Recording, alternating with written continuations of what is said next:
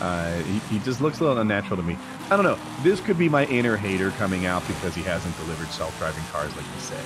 That, maybe that's the root of all this. Apparently, the for, he's so far ahead of the forecast that they had one of their best days ever. I was just watching. Uh, oh, sales-wise, yeah. Uh, no, no, no, like, like everything, like like like they're expanding their factory, like everything is.